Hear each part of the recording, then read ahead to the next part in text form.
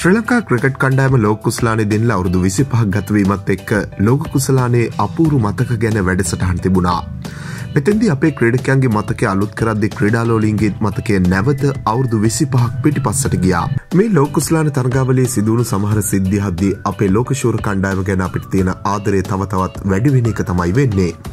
ලොකුස්ලානි දිනාගනිදි ශ්‍ර ලංකා සංචිතය හිටියත් එකම තරගයකටවත් සෙල්ලම් නොකළ උපුල් චන්දන කළ කැපවීම ගැනත් වැඩිපුර කතා බහට ලක් වුණා.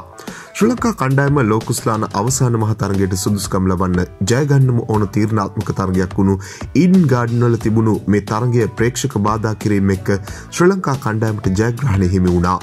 මේ තරගේ හතරේ සීම වාසන්නේ පඳුරැකපු අරවින්දද සිල්ලාට බෝතල්වලින් ඉන්දයානු ප්‍රේක්ෂකයන් පහර දෙන්න තියෙන අවධානම නිසා අරවින්ද පිටිය මැදට යවල කරලා අරවින්ද හිටපු තැන්ට චන්දන පඳුරකින්නගේ මතකයක් හරි අපුරු මතකයක්. ඒවගේ මේ සිද්ධියත්තර ටිකක් පුදුම කතාවකුත් සිදත් වෙත්තමුණි මතක් කරලා තිබුණා.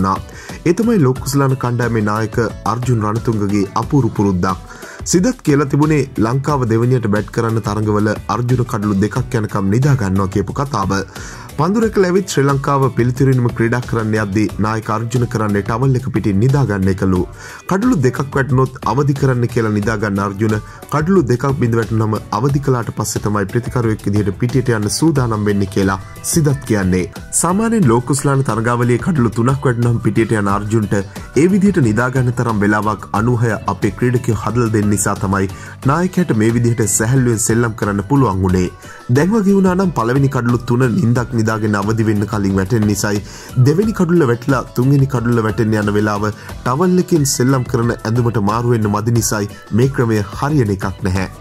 මෙන් වීඩියෝ දිනපතා බලන්න අපත් සමග එකතුවන්න ඔබ තාමත් අපේ චැනලක සබස්ක්‍රයිබ් කරල නැත්තං දැම් අප සබස්ක්‍රයිබ් කරන්නත් ක්‍රිකට්වලට කැමති ඔබ යාලකට බලන්න මේ වීඩියකෂයා කරන්නත් අමතක් කරන්න එපා ක්‍රිකට් පිටිය නැවම්දේ සපිරි තවත් අලුත් වීඩියෝවකින් හමෝනතේ ක්‍රිකට් ලංකා වෙතින් ඔයාට සුබදවසක්.